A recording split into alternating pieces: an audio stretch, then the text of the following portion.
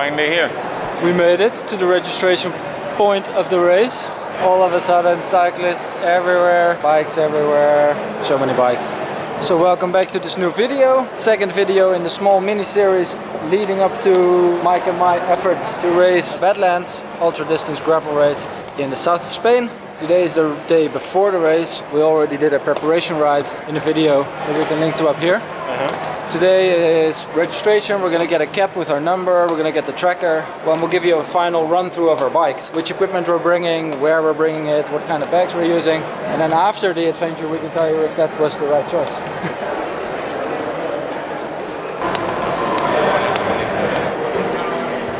Hi. Like signing his life away and making sure that they call Jasmijn when we uh, crash. Definitely. The bike check we promised. Oh no, first, what's in our starting kit? Handy. Already some Maurten stuff. It's Maurten. Always, always good for us. Shout out. Shout out to Maurten. Some gels, I forgot them. A buff. Maybe good for you to sleep. A cap. Cap. 207 for Mikey. 206 for me. You're going to like this when you're sleeping in the desert with the wind on your face. And then I think in my bag is the tracker. So this is how uh, trackers work during a race like this. I believe we're supposed to turn it on tomorrow, and then uh, everyone in the world can see where we are. We only have one tracker, so we cannot be angry, we cannot fight. It's always difficult, even when we do nothing. And this now on the bike, definitely get some fights, but we will see. But bike check. Obviously, our bikes are similar. They're both Focus Atlas bikes, aluminum bikes, so we can thrash them around. Don't have to be gentle with them. Bulletproof, I think. Yeah, When we see all the comparison here with the other bikes, I think we have one of the widest tires, the sturdiest wheels. I'm a little bit worried that other people are going to be way faster than we are, but hopefully we are not going to get in as much trouble.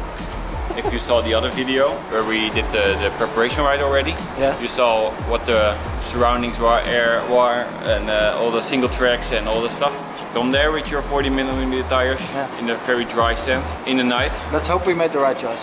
it's our first time, and this is the most safe choice. True. Let's start talking about what we brought. Yeah. First, the things that we both brought. We both have the same Tailfin. Well, not the same one. You have carbon one, I have an alloy one, because I wanted to bring my flask. At night, I can't sleep if I don't have a little sip of bourbon. In our Tailfins, we have food. I've got mine stuffed with 24 bags of Maurten, so 8 bags of Maurten a day. Towards the end, I'm going to use more of the caffeine Morton. I've also got some gels in there and some bars because sometimes I guess just want to chew on something. And I think I should be able to finish the race on this with very little other food. Our idea is that we don't really stop that much, and I think with this amount of Maurten, I'm gonna be able to do that. Tailfin is absolutely great because it's so stable. Yeah, what more can I say? Oh yeah, I've also got some chargers and those kind of things in the back, uh, some electronics. Mike, same thing, but he has some clothes in there as well. That's Yeah, why there's a little bit more more space in here. And I need to put some stuff out. If we go fully to the front, and we have the racks, we go to the same rack. Allygn Components diamond rack because everyone keeps asking. It's always sold out. It's attached to the to the forks. Got the light on there as well. the Dynamo uh, Son Dynamo light in combination with the Dynamo hub and yeah that's good for all the power for lights for headlamp for uh, GPS we don't need to charge at restaurants we don't need to wait for something nights are very long 11 hours here it will be very dark because we have a lot of light options We are the camper van version of the bike. yeah We are fully self-supporting. We don't need anything. Then in here, we've got a dry bag, both I think the same one, which is stuffed with sleeping bag, a bivy bag. Still not sure if we can gonna bring it because it's not gonna rain anyway. I didn't bring a mat, but I did bring puffer jacket for night or descents when it gets cold. yeah We've brought one set of cycling kit. Yeah, and that's why I have one one short like uh, underwear in it because then it's the the only three hours a day that I can put my bib off, Ah, yeah. hang it in the tree, get some fresh air in it, and then the next day put dirty one back on. I think I'm going. Uh, Yeah, you always go naked. Naked and sleeping Na- naked sleeping. I'm uh, scared, Naked scary uh, for all the, the the dogs that are going to nibble on your sausage. exactly. this side will be full of food. Now the net and uh, some tools that we need on the other side. Where's your battery? It's on the other side. Ah, it's one Two- bag with two sides. With two sides. That's why I choose the B, B version of it. I have here I have my tools and and uh, lube for the chain. Yeah. Which kind of lube are you using? I go for the, you don't expect it here, but for the rainy days. Let's wait. People, can you see?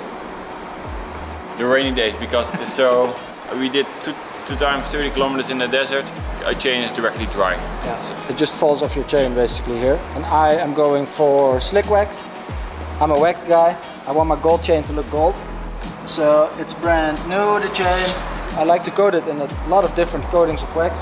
So I think I'm on four coats right now. I'm going to add another one tonight and then I think my chain is pretty much good for probably the first half of the race. And at night I will add some more to it so it can dry out and then the next day I'm good to go again. Another thing that we have different is that I have a frame bag custom made for this bike which is why it exactly fits and it attaches to the bottle holder mounts here. Super sturdy. In this I've got two compartments. One compartment on the left for a 2 liter water bladder that is right now still in the car in a cooler so that tomorrow it's going to be nice and cold when we start. And then in the front here I've got also a power bank to charge my GoPros because I'm going to be filming the whole trip on GoPros. I've got chargers for my phone, for my hammerhead and then some spare batteries for the headlight.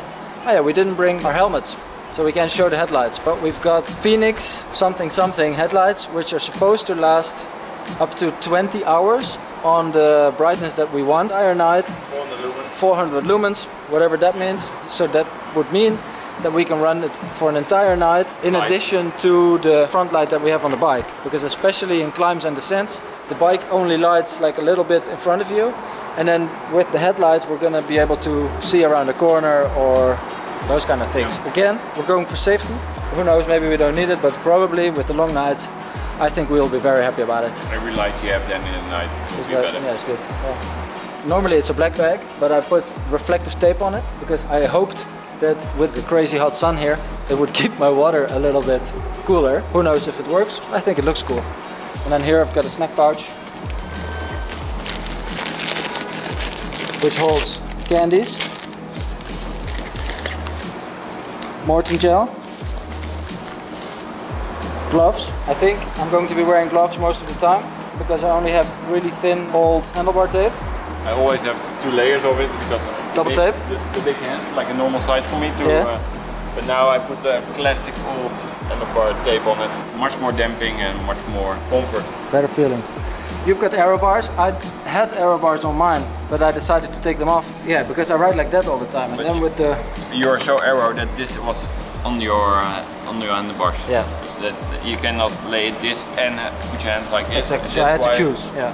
That's why I put the 5 centimeter spacers between it that I can Yeah. hold like this and lay like this. This is not for aerodynamics a little bit, but more for comfort. You sit here for all day almost. Yeah. And, It's going to be hurting there and there. and if you can put your hands here a little bit and uh, Relax your in- in a climb or go uh, go on a, st- a straight path, uh, I think that's good. Yeah. Gearing.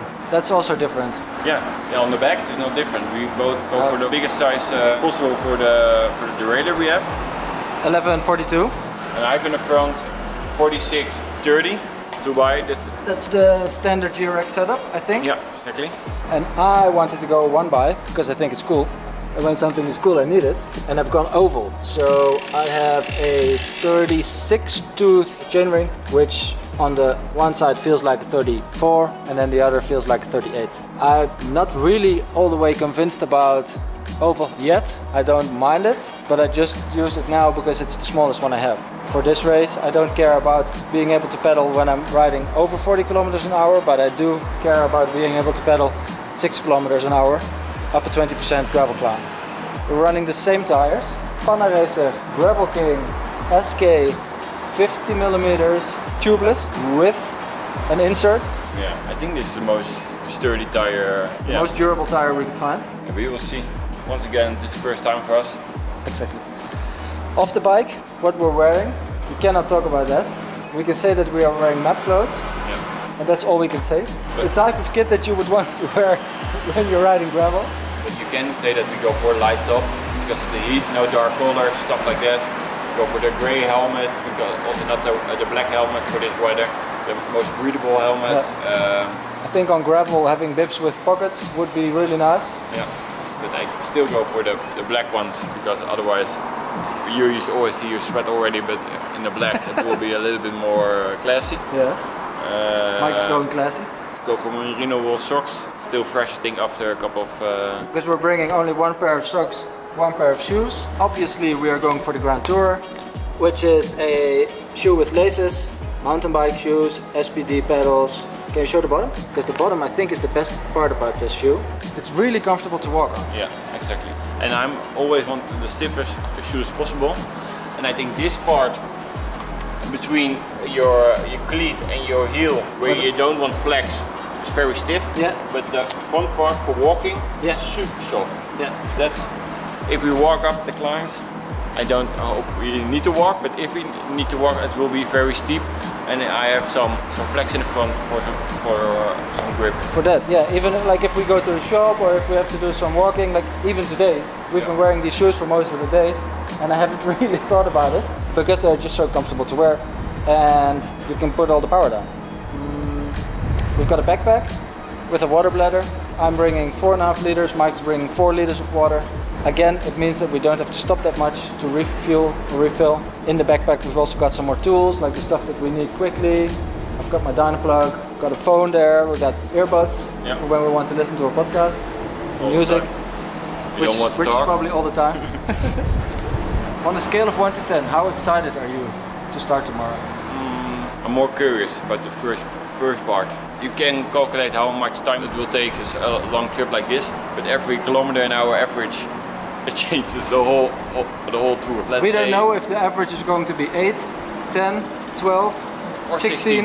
It, absolutely no know. idea. Yeah. and that's uh, you can search for supermarkets, you can search for everything, but if you don't know how late you will arrive there, it's difficult. Yeah. If we start tomorrow and we do the first 100 kilometers and we arrive again in the desert, we will see. Hopefully we can make a lot of kilometers tomorrow. It's a tricky start directly. I think the first 40 kilometers already 1800 meters of elevation. Yeah. That's, uh, that's a big line. Crazy start. We've seen a lot of really fast people here. Mm-hmm. Hopefully they will all go really fast at the start and then we start easy. Catch up, catch up, catch up. Slow but steady. Yeah, We never stop. that's the plan. If we can ride the average that we hope we can get, the race will take us 72 hours, three days, with two times three hours ish sleep in the middle, in a ditch. We will see. Right now, we're going to eat some pasta and get a last good night of sleep, hopefully. Yeah. Maybe worry a little bit so then we don't sleep that much, we'll see. We'll see. And then we will see you again in the race video, which we start recording tomorrow. On a scale of 1 to 10, I'm 10 excited. Alright. See you in the next You video. see. You will see how it ends. Ciao. Bye bye.